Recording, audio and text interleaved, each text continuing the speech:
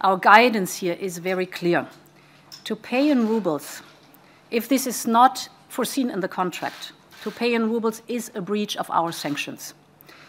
We have around about 97% of all contracts that explicitly stipulate payments in euros or dollars. So it's very clear.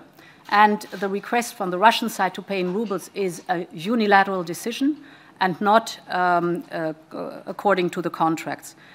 Companies with such contracts should not accede to the Russian demands. This would uh, be a breach of the sanctions, so a high risk for the companies. Thank you. Last question, Dorota.